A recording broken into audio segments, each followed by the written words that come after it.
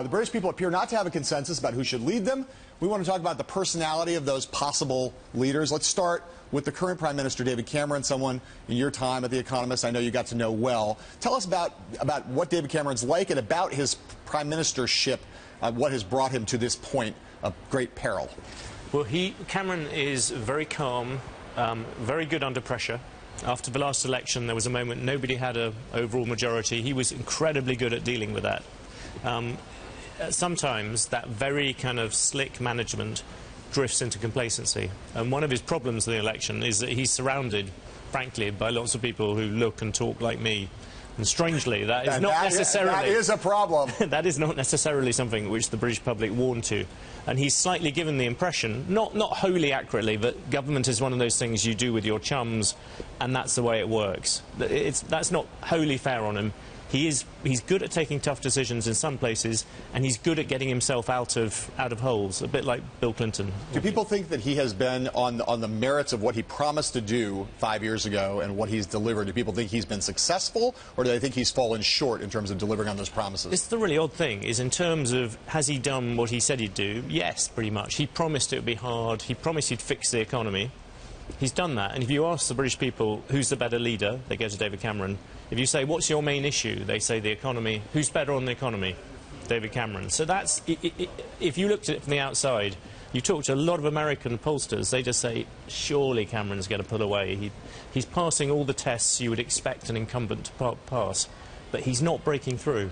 So the man who's poised to maybe stop him, the Labour leader, Ed Miliband, is part of a political family very familiar mm. to the country for a long time. Is he uh, a, someone running on personality? Is he running on issues? It's interesting. He's running on something, a kind of version of inequality, a version of sort of fairness. And he has done, he has gone out and he has selected a kind of consortium of people. It's a very, in a very strange way, it's a bit like Karl Rove years ago assembling the Bush coalition. He's gone off and found individual people. He's gone and grabbed um, students He's promised them things. He's told pensioners you're going to get this. He's told people unemployed you're going to get this. Benefits, people who work for the public sector. And he's sort of got a blocking coalition together. And that is the way that he's been going. And he's continually attacked Cameron that he's someone who's out of touch with the people.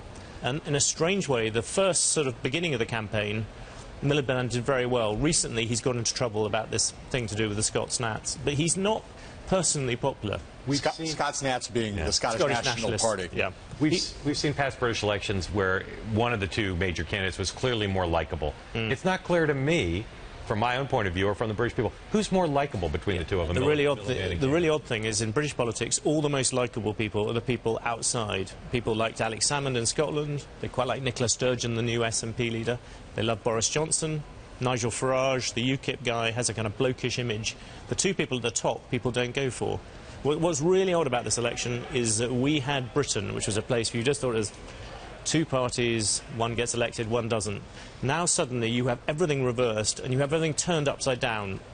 Labour is based in Scotland. Scotland is where it comes from. In this election, they could lose pretty much every single Scottish seat they have, and yet Miliband could end up in Downing Street. And that is like Hillary Clinton losing New York and California, but still carrying the election. And it is very, very odd. Say a little bit more about Ed. You know, one of the things that people don't, or most people don't follow British politics don't know, is that he has a brother mm. who also wanted to be prime minister or leader of the Labour Party. He had to kind of shove his brother aside in order to be in the position he is now. That speaks to a certain kind of uh, coldness and a, a, a ruthlessness um, that doesn't necessarily come across in his in his public persona. I saw his brother's in New York. I saw him a couple, couple of days ago in a restaurant. He and he is stuck in a very strange position. David Miliband was the chosen Miliband. Yeah. He was also Blair's chosen heir.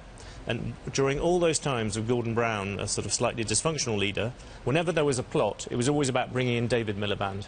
And then the moment the election went, suddenly he was pushed ago. out. Yeah. He was pushed. David. The, the, there was a, a, race, and everyone expected Ed Miliband to support his brother, instead of which he ran against him. And it is really Cain and Abel. And, and, and actually, that's a problem for Ed Miliband. If you ask voters what do they know about him, the first thing they know is that he, he knifed his brother. Uh, outcome have any implication for the United States? I think it must do because Britain, whatever its pluses and minuses, is still incredibly close ally. It's still the people you'd rely on in terms of defence. Cameron hasn't been spending enough on it. Miliband looks to be spend even less. There's a whole issue about Britain and Europe. You know, whatever happens, you could end up with Britain at the worst, you could see Britain coming apart. You're either going to end up in this election, if the polls are right, with Cameron governing in London, but with no support whatsoever in Scotland and Scotland run by the Scots Nats, or else Miliband governing in London with the help of Scottish MPs, the Scottish nationalist MPs, who English voters cannot have no control over. The Scots can vote on English issues, the English can't vote on Scots. And so you will have growing resentment, growing fury in England about what's happening because England gives Scotland a lot of money. Growing fury So there's quite a, lot of. It's, growing it's a fury or nasty just thing. a lot of hilarity. Yes, it could be. Let me ask, let me ask you a last question. We have about 30 seconds. If you think about these two guys, the likelihood is, like if we believe the betting sites and, and Ladbrokes, that we're going to have a hung election. There's no one's going to have a majority government. So, which of these two guys has the political resourcefulness, the more likely, have the political resourcefulness to have the likelihood of being able to cobble together a coalition government? Most people would probably still say Cameron because he did it before. What Cameron has, that he has a very good ability to lose something, think, okay, that's happened. I've lost my vote on Syria. I didn't get a majority in the election, and then do something quickly. Against that, everyone who underrated David, Ed Miliband, that, you see, I, I say the wrong Miliband by instinct. everyone who underrated him, you know, he is he is now quite close, or stands a decent chance, a far better chance than anybody thought of getting into number ten.